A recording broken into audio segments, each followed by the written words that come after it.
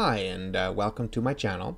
So I'm going to give you a real quick preview of what this video is all about. In the first picture you're going to see the first version of my hydraulic thumb, which unfortunately only lasted about half an hour of actual work and that's what you see here.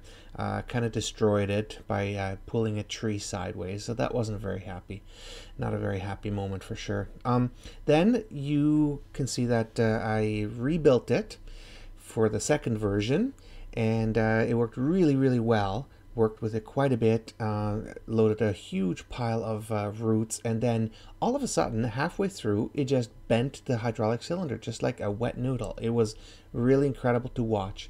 So that's what you see in this picture here and uh, what I ended up having to do is go back to Princess Auto and get a new hydraulic cylinder recut it and re-weld it back together and that's why you can see in the very last picture the cylinder is red. It was getting too cold uh, for me to paint it and I wanted to get it going so we can uh, cut the siding for the for the cabin. So that's the preview of this video and uh, I hope you're going to enjoy watching it. Uh, don't forget to subscribe and like and comment if you have any suggestions. Love to hear from you. Alright, so this is how far I got with the uh, thumb and I built one out of wood and uh, matched it and uh, so now I'm just going to have to figure out how to do the uh, the pieces across here to make them a little bit more strong. And then uh, in here, I'll probably need two pieces of wood, or I guess metal eventually, with holes for the pin. Um, and then I'll have to go and get a hydraulic cylinder that has about 36 inches stroke see if I can find one for a reasonable price. But yeah, this is how far I got. So here's the hydraulic cylinder that I bought for the thumb. And it's actually quite a big uh, one. It's a 36 inch stroke, so I think it's 40, 45 inches uh, when it's when it's uh, retracted, and 80 inches when it's long. So the issue I ran into is I thought that it was too long.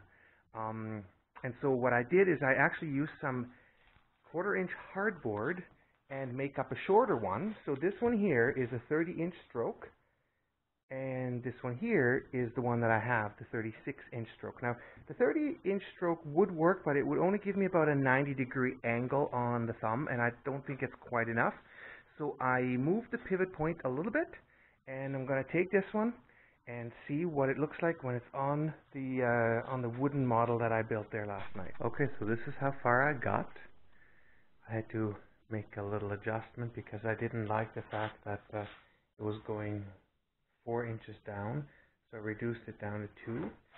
And uh, here you can see the different positions. If it's completely retracted, the red is going to be the piston position, and when it's completely extended, the green is the uh, position. And uh, I test fitted it, and it works. Uh, the only thing I don't really like is that I have to weld two plates together, one here and one here, because I don't have material that's wide enough and that's this long. So I have some uh, 7 8 inch thick by 4 inch, uh, and I think it's 7 feet long, so I'm just going to have enough to uh, make the two long pieces and then take one piece and cut it in half for the bottom part because I'm going to have to weld those together. But uh, I think it's going to work. I guess we'll, uh, we'll do some more fitting tomorrow and uh, then start cutting up the metal and start welding it up. So I have to make another modification because I uh, forgot to take into the account the little knob here and the fitting that sticks out. Now the Princess Auto, um, unfortunately, uh, the knob, the fitting here is perpendicular to this one, whereas it was, it would be a lot nicer if it was on the side. So this is what I got. Here's the, uh, here's the little flange there, and this is the fitting that I'm going to put in. So I have to get here. Let me see if I can uh, show that from the top. There. So I have to give it enough clearance uh, for the retraction of the cylinder so that uh, I don't hit I don't hit the uh, the wall there. So as before, this is where I was going to have the, the half inch bottom plate and now I'm going to have to move it to here. So this is where I'm at. I'm going to fix it in the wood model and I'm probably going to redo the entire wood model, make it a little bit more accurate and build it exactly the way I want it, do a uh, final test fit and then start cutting up the metal. Okay, so I think this is the final version now. I uh, did it all out of new wood and the right dimensions of what I have on hand. The only thing I'm not sure is this piece here is only half inch, but it's not very long. It's only about this long where it's not, where it's only half an inch, and it's really wide, so I think it should be good. Um, then the bottom, this is also half inch, but because it's angled, um, I think that'll be strong enough. The sides are 7 8 inch, and then I just added uh, pieces here at the end. Here, I'll lift this up just to get a little bit more hooking power there. And uh, as for the hydraulic cylinder, I made up a cardboard uh, template and I think this is going to be where the pivot will be right up there and because I can't make it uh, extendable I cut a slot in here and so I should be able to oops should be able to simulate the uh, movement of the hydraulic cylinder as I move this up. So you can see the, the cylinder moves back and forth as it extends. And that's a pretty decent range. I'm pretty happy with uh, with that. And then all the way to the top. Here, here's the top. And I'm not extend. I'm not uh, pulling it back completely. You can see this is how far it would actually go, but I'm only pulling it that much. So there's about three quarter inch of the rod that's going to stick out. And the inside, I made it so that it does not hit the sides. The only thing I'm going to have to do is make a, a bushing here and then a new pin that's about uh, an inch longer or so. There you go. So I think that turned out pretty good. I think I'm getting ready to start cutting it up with my uh, like cutting up the metal. So here I am cutting off the warp piece of that piece of metal that I'm using for the long uh, pieces. This is uh, this is what I'm cutting right now. 7 8 by 4 inch, and I'm going to make them 38 inches long. And that should only take a minute. So I'm going to do a real quick interjection here. Uh, in this picture you can see that the uh, piece of wrought iron that I was cutting up uh, just previously uh, had just snapped right in half um, because apparently wrought iron is not nearly as strong as mild steel when it comes to the brittleness. Um, I learned that the hard way. Now I have to say I was a little expecting it when I was first cutting it up uh, to the uh, effect of actually going to share this with my wife and say, look, I'm taking a chance here. Uh, it may result in a bunch of work uh, later on if this uh, wrought iron is not going to be strong enough. But I did design it in a way that I could cut it out and replace it, which I ended up having to do, unfortunately. So, anyways, back to the uh, to the video. So the metal parts are almost done. And as you can tell, it created quite a bit of dirt on the floor there from all the grinding um, so here are the pieces. And I have two sets, of course, and then these are the braces across. And now I'm working on these here, which then will fit in right there, like that. There we go. And uh, this is what I'm doing right now. Just drilled it to half an inch, and I'm going to drill it all the way to an inch, and then bore it to I think it's two and an eighth inch for the pin. I'll have to double check that. That's how far I got so far. It is uh, quarter to 11 at night. Okay, so this is how far I got done. I got everything tack welded together. I got the pin made. That uh, that took a long time. And uh, test fitted it. So now, these are still loose here. I'm going to tack weld those in. And right now I'm cutting up some 4140 for uh, for bushing for the bottom and the top of the hydraulic cylinders. They're going to go right in there. I'm going to press fit them in there. So uh, coming along. It's a lot of work, but it's coming along. So uh, just finished making these bushings. I decided to go with 4140 and uh, press fitted into the flange where the pin rides for the for the cylinder. I didn't want to use just a one inch mild steel plate because I figured that would be a little soft.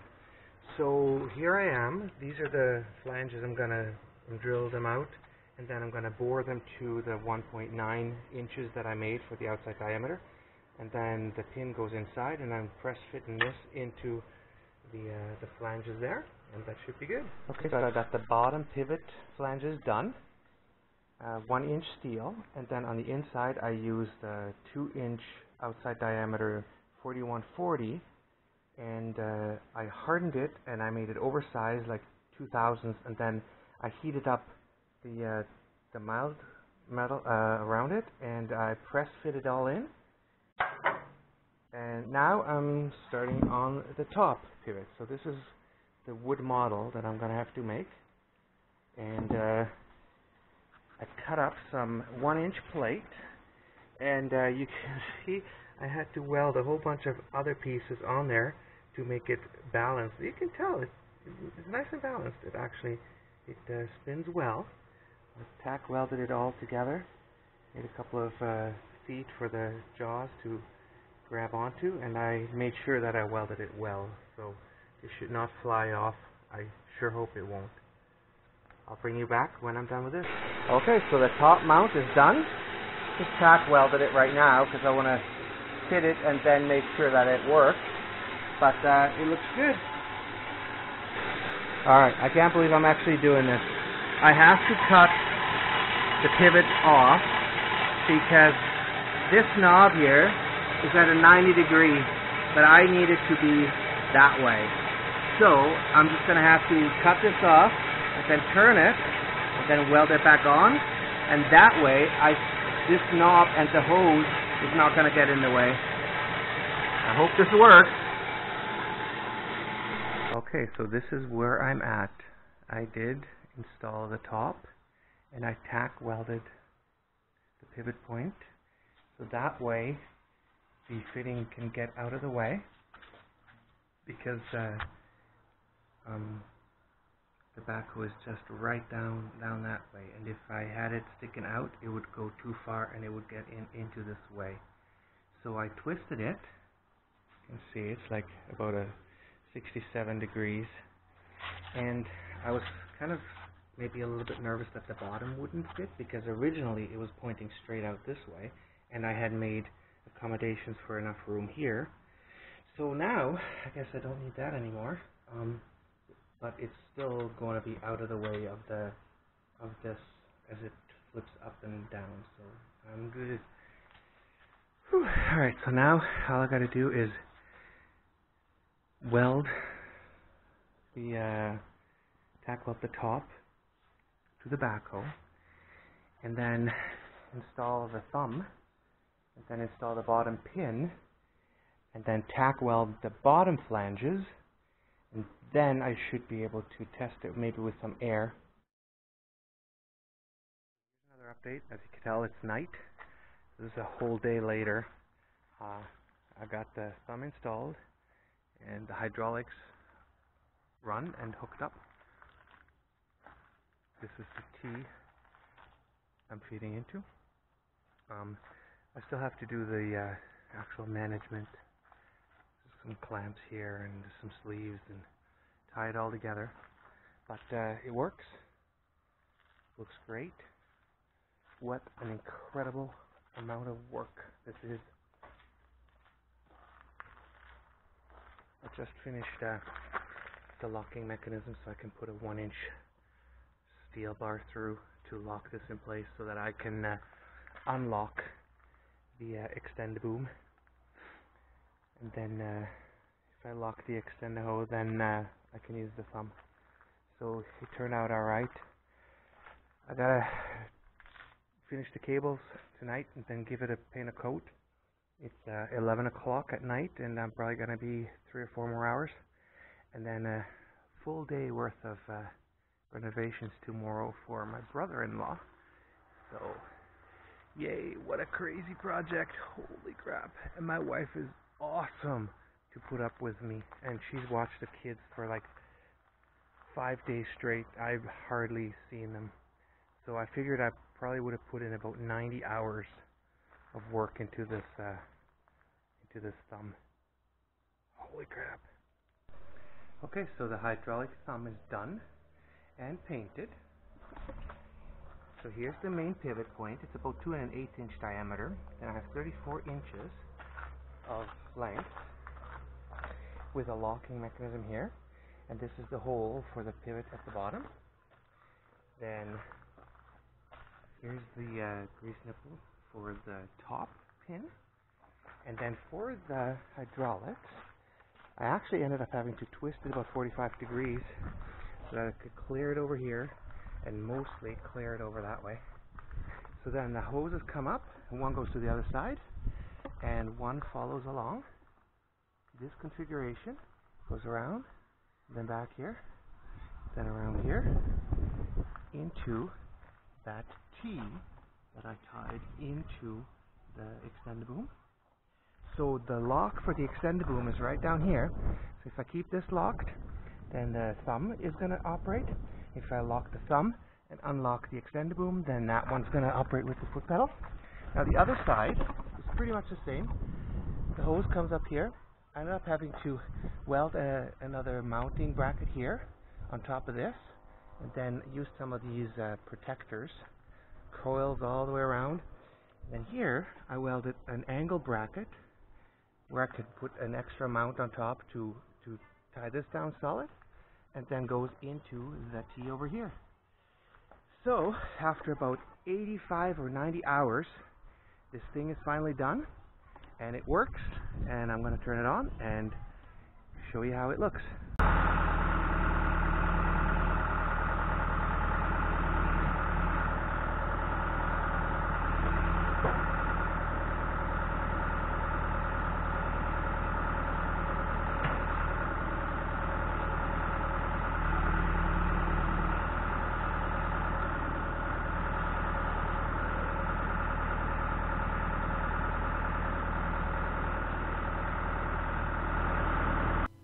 All right, I'm going to take another quick break here to uh, to explain what I think happened, what I think is the cause of the uh, hydraulic cylinder bending there towards the end. Um, you'll notice that I slowed down uh, extending the uh, the cylinder rod there quite a bit towards the end, just because I noticed that the cylinder casing there would hit the boom, and it was only about two inches um, too far. But I think what happened is I extended it too far and that ended up bending the uh, the rod just a tiny little bit and have maybe a bit of a preset uh, bent uh, that way. And so later on when I was uh, loading up the roots, I think that tiny little bend in the, the piston rod ended up uh, just be too much and when I applied the force of the, the hydraulics, uh, it just bent it like a wet noodle. I mean, it was like bent like this. It was not a pretty sight. So anyways, um, I think that's what happened. I'm not 100% sure, but uh, I'm pretty sure that is the reason. So I ended up putting a stop tube inside of the cylinder um, with on the cylinder that I replaced, and uh, that will prevent the the rod from extending too far, and the same thing from happening again. Anyways, back to the video.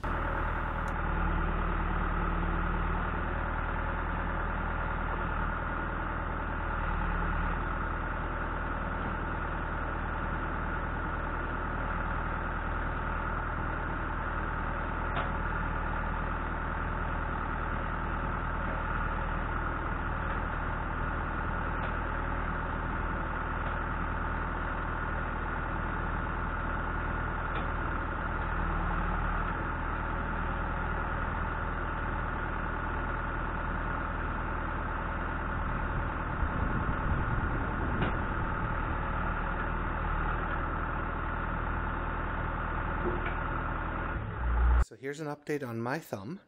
It took me 80 hours to build and about half an hour to destroy. This is uh, after I've cut some pieces out already, but basically what happened, I pulled a tree sideways, which I have, and uh, the wrought iron just snapped. So that really sucks. So anyway, so I took it off. I designed it to be taken off and uh, brought it back home to my shop and uh, cut those pieces off, which are these here, and re-welded some of them. There's a couple of, there's one, one crack here and uh, there was one back here, right there. So I re-welded those and then I adapted it a little bit, cut everything out. So this is all I'm gonna have for the uh, the pin for the hydraulic cylinder. All the clearances should fit.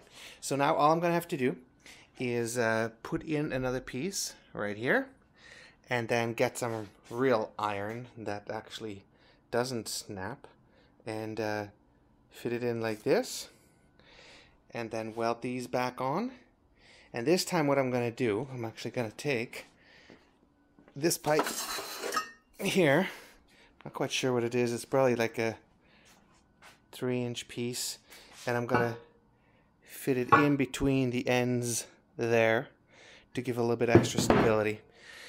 Hopefully, oh, another thing I'm to do is, uh, this is just half inch plate and it actually bent right here.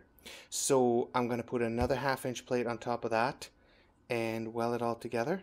That should give it some extra strength and hopefully that'll work. Alright, so I got the metal for the fixing of the thumb and uh, here it is, a bunch of stuff.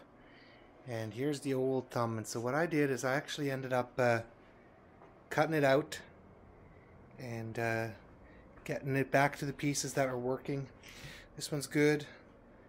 This one here's good and this one here was good so I welded a new piece on the side and uh, just finished tracing out the new pieces I'm gonna double up on these ones here so what I did is I took a piece of paper and I lined it up and I cut it out so that I have enough uh, room for the, the welding bead here. Then I transferred it over. Not quite sure if I'm going to use an angle grinder or if I'm going to have a metal shop use uh, a plasma cutter on this. I might just get them to do it. We'll see how long it would take them. And that's where we're at. So back to building up the thumb. Hopefully I'll have that up and running in a few hours. And uh, back on the backhoe. Catch you later. Thumb all fixed up and welded. Uh, here's the bigger piece that I put in and this time I'm cutting some teeth too. If you're looking at it from this angle, you can see it's kind of curved. So the top one's done, and the way I did it is I drilled the holes and got the angle. So down here you can actually see this is what I got so far. Um, I marked it on the other side.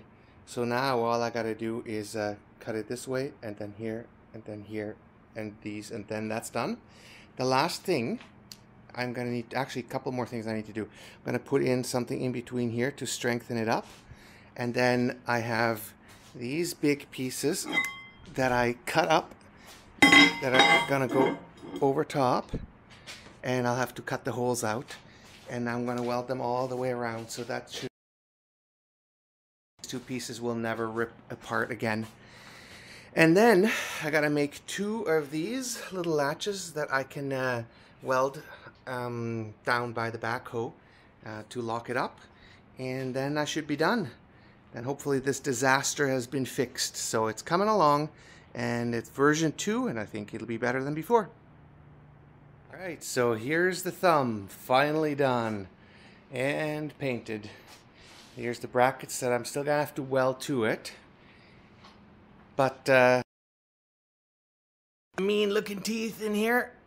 I think that's going to make it a lot easier to, to use and, uh, everything's replaced and uh, the big bracket on the side put in and the pin goes right through there so it, uh, sure would have been nicer if I didn't break it in the first place but uh, was able to fix it and uh, tomorrow I'm gonna go and put it back on the backhoe and then I'm ready to go